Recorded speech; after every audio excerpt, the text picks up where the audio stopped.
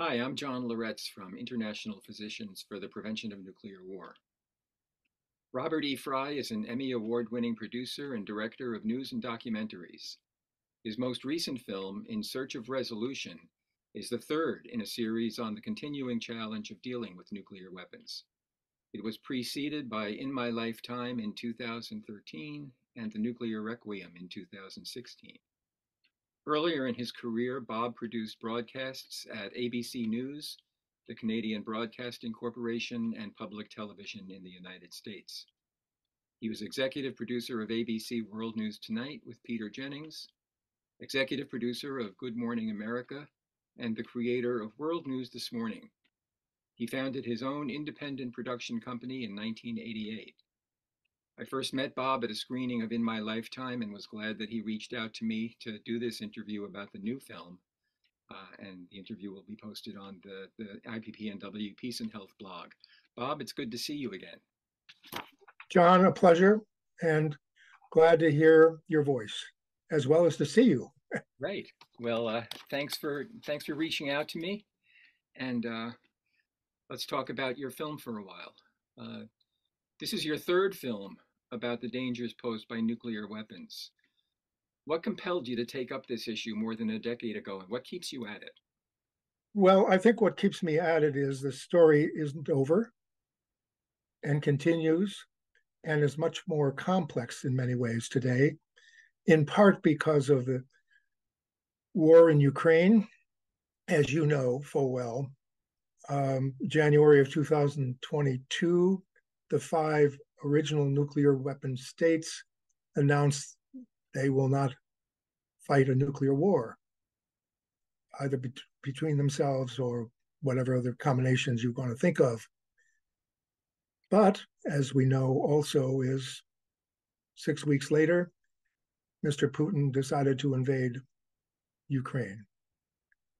That's brought this subject to the fore again, I think it's a challenge, I think, for all of us to understand that the weapons themselves, and certainly in your work over the years, you know full well the dangers that they create. And also, the, and since we're now talking about it in in terms of everything that's going on, your work with uh, the IP PNW. I didn't get that right, did I? You did. Good. Um, I think that it's important what your mission is and how you develop these ideas to try and change the dynamic of nuclear weapons, both in terms of their use and also in terms of the attitudes of people around the world. And those that are involved in organizations such as yours obviously are at the forefront of creating an environment where at least people are aware of it. One of my chores, I think, over the last 10, 12 years has been just to have these films out there to make people aware of not only the dangers, but the underlying dynamics of the nine nuclear weapon states, as well as what's with all of the other uh, states in the, in the world. Um, as you mentioned just before we started this conversation, the TPNW obviously is a new start, if you will, not the treaty, but a new start in looking at ways to resolve the ongoing challenges. Mm-hmm. And although it's only been uh, two, three years, I think it's made progress in terms of the number number of states that have joined the TPNW. Mm-hmm. At least it creates. An... Not, to interrupt you, but I want to come back to that. I, I want to spend a little bit of time talking about that. Okay. um, as you pointed out, uh, the first part of the film focuses on the Ukraine war uh, and the frightening implications of that conflict for, for nuclear for a nuclear armed world. Um, the nuclear threats that have come out of Putin's government are obviously alarming. But some of the most disturbing voices in the film, to me, were the ones suggesting that Russia would never have invaded had Ukraine kept nuclear weapons that were on its territory after the collapse of the Soviet Union. Um, that misguided faith in nuclear deterrence, which was echoed here, has been one of the biggest obstacles to nuclear disarmament, as far as I can see. What lessons do you think we should be taking from the Ukraine war when it comes to making the case for the elimination of nuclear weapons? The most obvious one is they still exist. Um, how do they? How do we change the underlying dynamic of that situation? And given your life's work, you know full well. I mean, one of the things I feel the film does present again, and all three films in one way or the other, told the story of the Hibakusha mm-hmm. and those that actually have experienced and survived the bombings in Hiroshima and Nagasaki. But as you also know, it's not just the bombings themselves, 2,000 tests that took place, over a thousand of them in the United States alone. I was just reading an article a couple of days ago about those of a certain age, which we are, have in their bones literally the the results of the bombings from that period of time, particularly in the late 40s and 50s into the 60s. How do we change that underlying presence, if you will, of the continuing use or possible use of nuclear weapons? I think that's really the underlying question, given the fact that we all know, and those in the nuclear weapon states as well as those in the non nuclear weapon states, if you sit down and have a conversation with anyone and explain the results of the testing and the use in Hiroshima and Nagasaki, I think everyone can get it. So, as is reflected in the film, who's going to make the first move to move away from those weapons that still exist? I mean, certainly the TPNW was an initiative to change that underlying dynamic of the kind of stasis that we seem to be in when it comes to the nuclear weapon states. Yep. I, I think that's really one of the great challenges that we face. Who is going to make a move? I mean, God forbid there is any further use of nuclear weapons, as has been threatened by Mr. Putin. Um, and there are a lot of interpretations as to why he's made the threat. Some of them are presented in this film. Mm-hmm. But you know, what is it that's going to wake people up to the fact that they're not needed? I mean, I think that's really the challenge, and the whole idea about deterrence, um, which you brought up, um, you know, and continue to talk about. And certainly, the organization that you represent has been a major leader in that idea of moving away from the dangers of nuclear weapons and what they can cause if they're ever used again. Mm-hmm. You you've said about this film, and I'm, I'm, quoting here from the the sort of uh, introductory material you wrote for the website, that it looks to the future, profiling individuals and organizations working to answer the question, regardless of which side of the story they are on. Um, what guided you Bob, in your decisions about whose voices to present in this film, and do some voices matter more than others? Um, John, I'll let you answer that question, and I'll tell you what I tried to do. What what did you respond to? Well, I'm, I'm sorry, I'm not sure what you mean. In terms of the people that are in the film, what did you respond to in terms of the folks that are speaking in the film? Um, well, that that's an interesting question because I had different responses to different people. Um, I, I know a lot of them. I recognized a lot of them. Um, some of them I know of without necessarily knowing them personally. Uh, but there were different kinds of people in this film, so, and some of them seemed to me like um, the sort of older crowd that's been doing the same stuff over and over again for years and not getting anywhere and trying to scratch their heads and figure out why. And then there was a whole big group of young people who know that they're going to be inheriting these things and are determined to do something about it. and I actually had a better response to them. And maybe that's just my own, you know, sort of jaded sense of things anymore. Um, but it, it was the young people, I think, who who really sort of grabbed my attention the most. You've answered the question and stated the purpose of the film. Yeah. I mean, those that have been around for a long time, I think, share the wisdom, if you will, and the experiences of what has happened over the past 78 years because of the fight, if you will, of their challenges. And even those voices that are in the film that represent the nuclear weapon states. M- many are not um, telling the story in any other way that they know. Mm-hmm. But I think the young, and one of the reasons, the purposes of this film is to present the voices of the young, because after all, as we both appreciate, they're the ones that are going to inherit this. And I think that by making this film, particularly this film, I wanted to leave them with the legacy of what has occurred over the past 78 years, because they're going to have to deal with the future. Mm-hmm.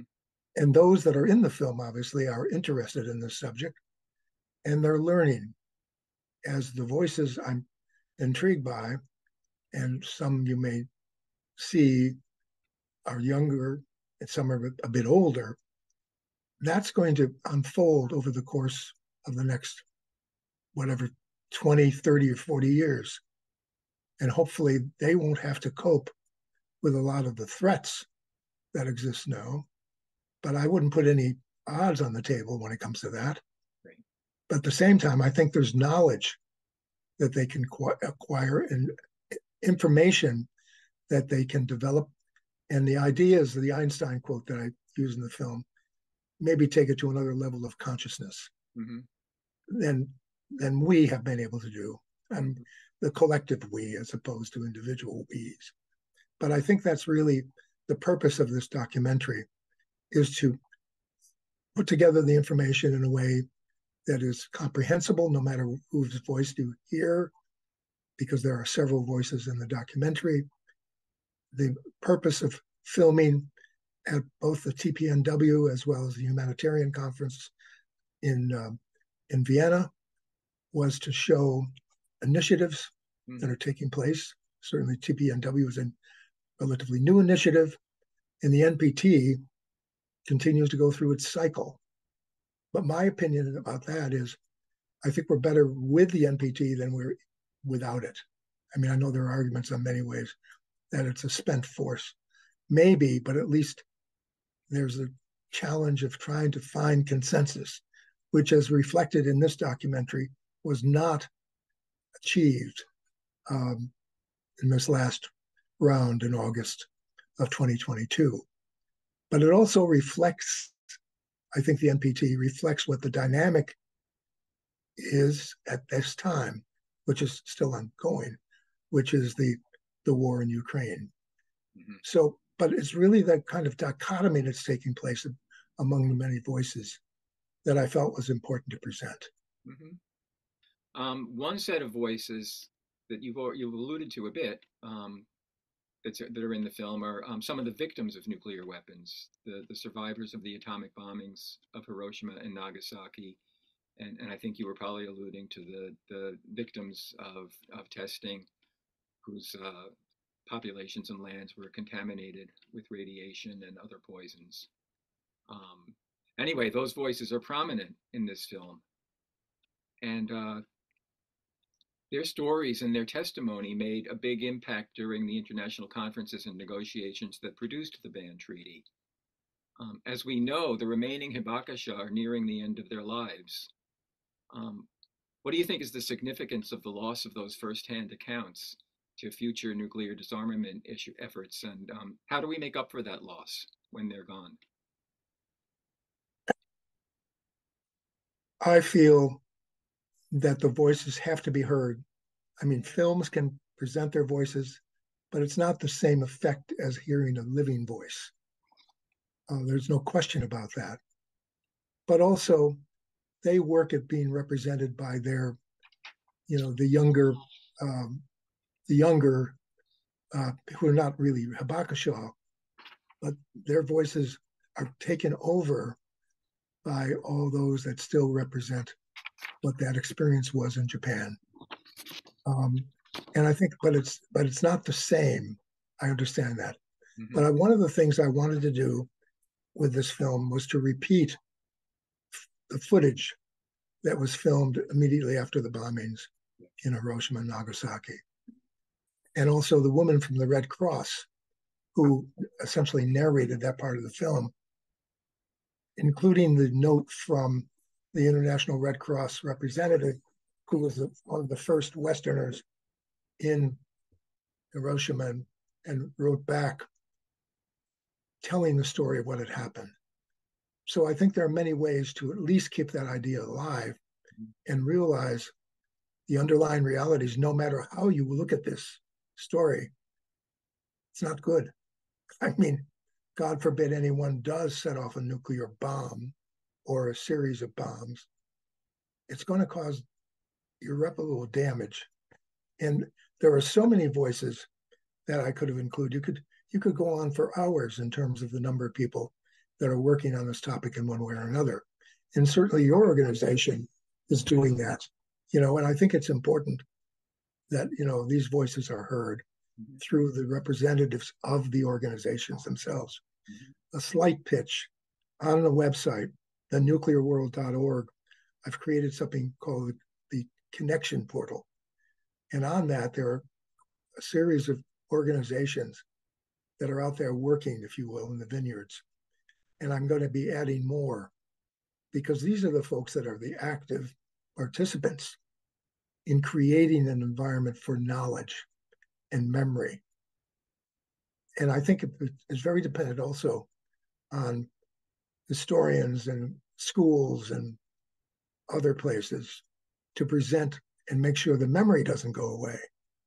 But there's no question, looping back to the original question you asked, the voices of the Hibakusha in living form still labor to make sure that folks understand the underlying realities of the bombs. Because after all, the bombs themselves didn't cause the damage. It was the people that made the decision to drop them. And that's what has to be changed. And voices like Sergio Duarte, uh, you know, as you know, several people that are are or were leadership positions, they continue to repeat why it's important to understand this dynamic. Mm-hmm. Mm-hmm. Circling back to the Ukraine conflict, um, a lot of people who approach the subject of nuclear weapons, and some of them are featured in your film, um, not one group of them, um, seem to talk about the danger in terms of a single nuclear detonation. Um, maybe that's because the loss of a single city and its population, um, while it's horrifying, is, is maybe still something we can wrap our heads around, um, if just barely. Um, I've heard people say that that in itself is reason enough to get rid of, of these weapons. Um, and that may be so. But the reality is that the operational policies of the nuclear armed states make it extremely unlikely that the use of nuclear weapons would end with a single detonation. In the case of Ukraine, uh, there's a very strong possibility that we'd see very rapid escalation, and we're talking a matter of hours, uh, to a nuclear war that would devastate Europe, put the US and Russia on a nuclear collision course with each other, and in the worst case, produce a nuclear winter that would end human civilization, if not humanity itself. This would happen not because anyone wants it to happen, but because the system is wired that way the average person doesn't really get this, I don't think, um, and it's not hard to understand why. But from what you've encountered, why do you think so many people who have nuclear weapons on their day to day agenda, whether they're in government, the military, the diplomatic corps, or, or various policy think tanks, try so hard to deflect attention from the real consequences of the use of nuclear weapons? I think you've answered your own question because it's hard to comprehend. And I think our role but if you to... sit in if you sit in meetings with them, you know, and and talk with them about it, which I've done for years, they say we know that stuff. We get trained in that stuff. We take, you know, seminars in that stuff before we ever start our jobs. We get it explained to us. We understand it. We know it. Um, so, you know, you don't have to tell us about it. And yet, you know, if they have that knowledge, it doesn't seem to really influence what they're what they're doing. I have a very short answer to that. I, when I was in the US Army in Germany, I spent a year working on nuclear weapon planning as an enlisted man. Mm-hmm. I'm not going to talk about what I learned mm-hmm. because I made a commitment never to do that. Mm-hmm. But one day I remember standing at the door of the safe room talking with a, a sergeant. And I said, I'm curious, why do you do this work? What is it about this? And his answer was, because it's my job. Now, if you look at that, how do you how do you crack that nut, if you will? Mm-hmm. It's my job. Mm-hmm. And also in the first film, I had a series of photographs by Paul Shambroom, where he showed he had permission given to him by the U.S. military to shoot um, images, still photography. And those people that were working in nuclear weapon facilities, be it planes or submarines or whatever, they were doing their job. Does that make them bad people? I mean, you know, I think it's a matter of where you are in that context. I think it's hard to really comprehend how people could do that work without understanding the consequences. But they do it. And I think you know that answer as well as I do.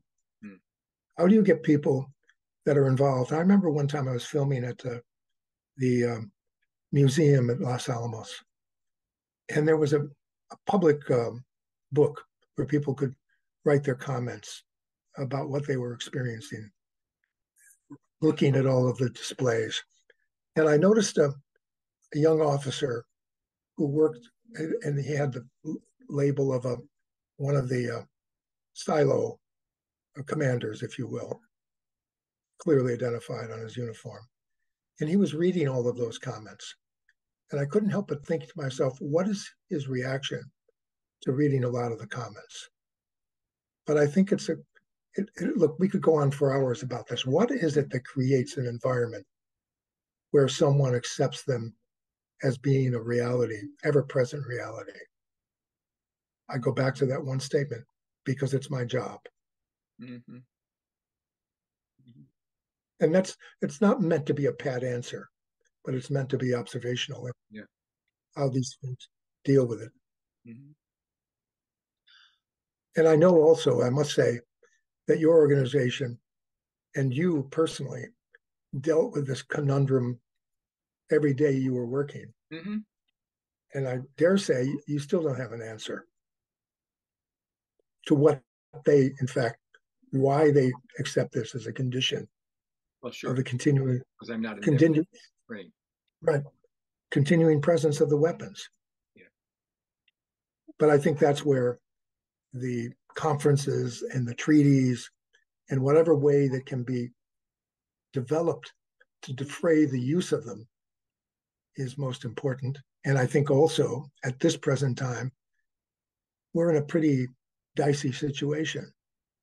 The continuing threats that come out of Russia. Mm-hmm. But it's not only Russia. You can you can create scenarios, which I'm sure you do a lot of as well, of the dynamics between all of the nuclear weapon states. And the fact that China now, I was just reading the other day, probably estimated about 400 weapons that they now have and the number of silos that they're building. Um, to not being housed they're not being built to house um,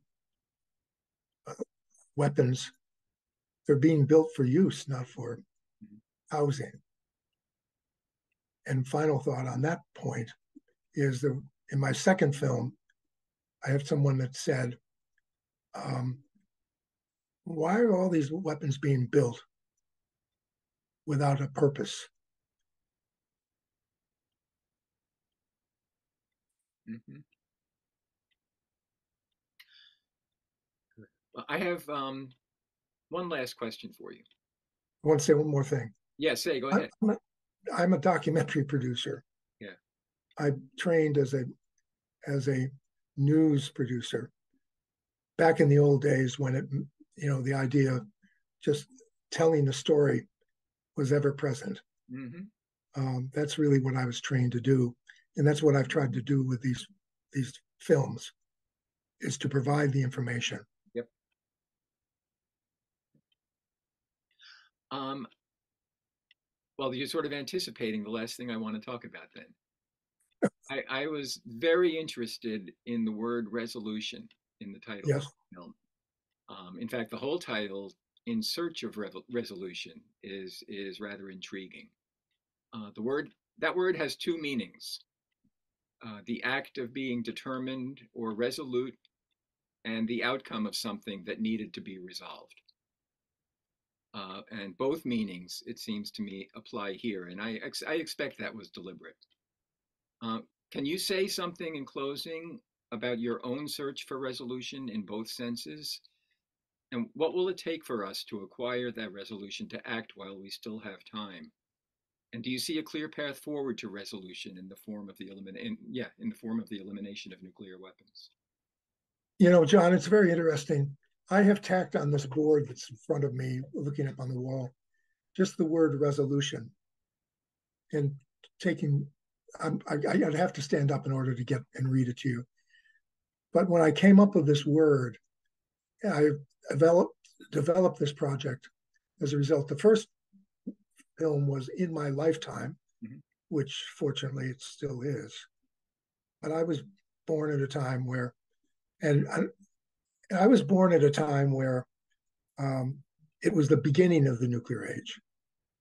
Um, the Requiem was meant to sort of midstream, if you will. And the third piece, which I've now fortunately been able to finish, in search of resolution, continues to be a search. And I feel that for my own personal reason, I wanted to be able to provide information that the younger generations could work with. How they take that, those that are involved, is their choice, not mine. But at least the choices I tried to put in the film provide information of consequences as well as underlying realities of what's going on now. Um, without drawing a conclusion, but more the idea of reflecting what you said in terms of resolution. But I think is if we, as a human, as a race, I'm talking about everyone in the world, don't come to grips with this, that's where we face the challenges. So I think it's something you can't go hide your head, bury your head in the sand. There has to be an acceptance of that. And that's why I wanted to also include the young in this film, those that are committed to the ideas of at least exploring and understanding why do they continue to exist. And as you appreciate, um, those that started the whole ball rolling, including Einstein. Um, and I, we haven't mentioned Oppenheimer. Certainly at this time, the Oppenheimer name is readily available because of that film. Mhm. But I think he had his own challenges. And I think that everyone who was involved in the creation of the bombs and of the, the whole idea of nuclear, they questioned, I mean, people like Leo Szilard and others, um, they questioned, why are we doing this? Well, at the beginning, it was because the word was that Germany was heading down the path of getting there before before we did, the United States and um, the United Kingdom at the time, France. What's happened with China, and and I think the challenge is we should continue to search for a resolution, not trying to project anything about how that can happen. And I think the TPNW, in a way, is the latest example of people finding a way to struggle to change the dynamic. But it's going to take dialogue by many people on all sides of this issue to change it. So what you do in your work and what I do in my work is just a small piece of coming to grips with this. But I think it takes much more than that. And I guess what I hope for is that there will be a gathering of common understanding for the future. And people say, well, that's very Pollyannish. It doesn't mean it can't happen. But I think to be silent is a challenge, not to be withstood, if you will. I think it just takes the voices and dialogues. We don't know what that solution is going to be, but I think it's important to continue searching for it. Well, I think that's a good note to, to pause on. I was going to say to, to end on, but we're not going to end. We're going to pause, right? Okay. And take your your message to heart. Bob Frye, thank you very much for for producing this new film, and for the two that came before it. Thanks for taking the time to to talk with us about it, and uh, I hope that a lot of people see it and and take the message to heart and, and actually do something about it as, as a result of your work. So thanks very much.